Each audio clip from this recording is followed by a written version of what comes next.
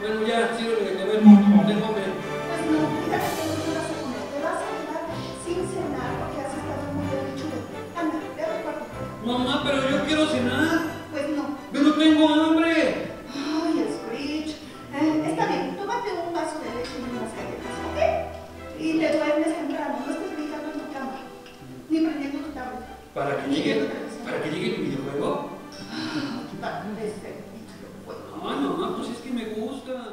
La compañía escénica Factor Teatro presentó en el Museo Nacional del Títere la obra Los fantasmas del pequeño Screech, una adaptación del cuento de Navidad de Charles Dickens. Screech se quedó dormido en su habitación hasta que casi llegando a la medianoche escuchó un pequeño ruido. Wendy Murillo, realizadora y guionista de esta compañía, explicó que la puesta en escena promueve, a través de una narrativa lúdica, valores como la empatía, generosidad, respeto y tolerancia entre las niñas y niños. Es dirigido para niños pequeños y obviamente habla de los valores en la Navidad, rescatar como cuál es el verdadero motivo de celebrar la Navidad y que dejemos de ver como las cosas materiales, que nos fijemos más en otro tipo de valores.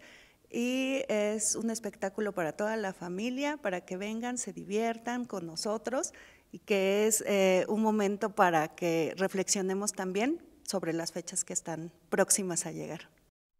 A su vez, el director de la puesta en escena, Freddy Alfaro, dio a conocer que esta obra se presentará en distintos escenarios del estado, entre ellos el de la Villa Navideña, Tlaxcala 2023.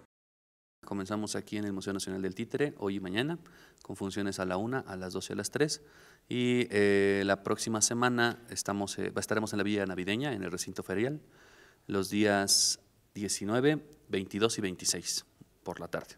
Es un espectáculo eh, pensado para niños pequeños, ¿no? También lo estuvimos llevando, lo vamos a llevar a algunas escuelas, a unas instituciones particulares. Dura alrededor de 35 40 minutos. Es para toda la familia. Para conocer dónde se presentará esta obra puede consultar la página de Facebook de la compañía Factor Teatro.